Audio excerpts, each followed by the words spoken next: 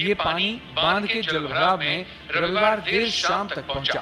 बीसलपुर बाँध के जलभराव में सहायक भीलवाड़ा ज़िले के बिगोद के पास बना 17 फीट भराव क्षमता वाला कोठारी बाँध लबालब भर चुका है जिस पर चादर चलने वाली है।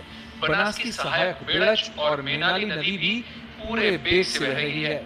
बनास नदी पर स्थित त्रिवेणी का गेज लगातार बढ़ता जा रहा है। ये पानी बीसलपुर बाँध की ओर तेज गति से बहने लगा है, जिससे अब बीसलपुर बाँध पूर्ण भराव की संभावना व्यक्त की जाने लगी है।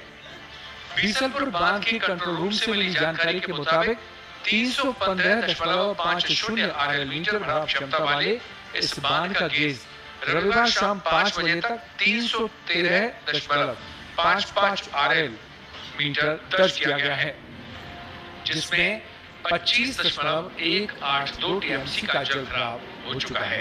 कुल जल भराव अड़तीस दशमलव सात शून्य तीन टीएमसी में से अब बाँध को पूर्ण भराव के लिए तेरह दशमलव पाँच दो टीएमसी पानी की आवश्यकता है।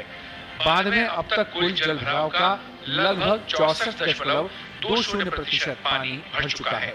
वहीं कैचमेंट एरिया से पानी की आवक की संभावना तेज हो चुकी है। इधर बाँध क्षेत्र में बीते 24 घंटे के दौरान कुल 15 एमएम बारिश दर्ज की गई। वहीं सीज़न की अब तक कुल 940 एमएम बारिश दर्ज